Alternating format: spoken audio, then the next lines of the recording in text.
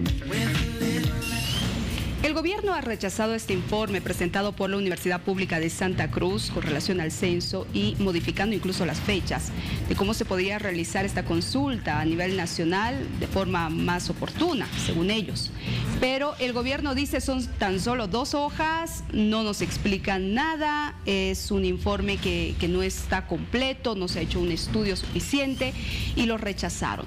A raíz de esto y también de otras, otros encuentros que ya han tenido las autoridades de Santa Cruz con autoridades del gobierno, se ha definido realizar un cabildo en esta región oriental del país. En medio de todo esto, existen algunos dimes y diretes de parte de las autoridades. Escuche. La, supuesta propuesta técnica solo tiene dos páginas en todo este documento que han mandado.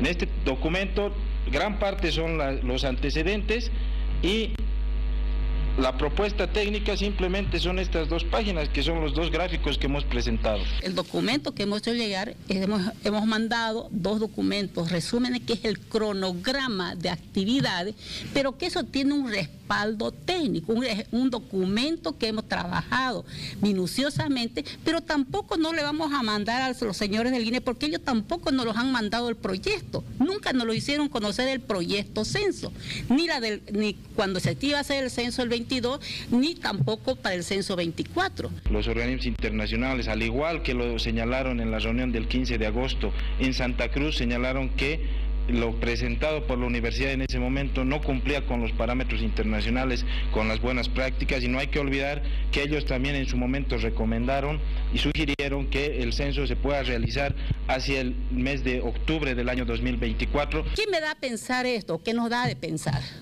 Que se están alistando ya a, a posibles errores que se van a hacer en el censo y que van a necesitar los dos años que se necesitaron en el 2012 para corregir los errores y de ese, modo hemos tenido cuatro bases de datos diferentes. Entendemos que tratan de generar algún tipo de propuesta, algún tipo de criterio en función a la realidad de la ciudad de Santa Cruz, cuando la realidad no solo de una ciudad no representa la realidad de todo un país. Nuestro país es amplio, es diverso, hay 256 municipios en el país que tienen menos de 20 mil habitantes. Se están quedando sin población, pero además sin las esperanzas de tener un futuro mejor.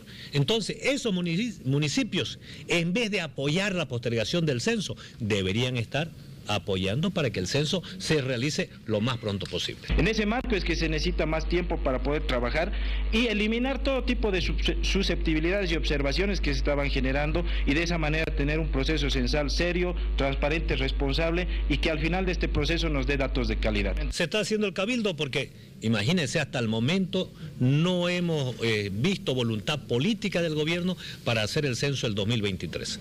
No hay argumentos técnicos para postergar al 2024. Y creo que no hay la voluntad política para llevar el censo ni el 2023 ni el 2024 y el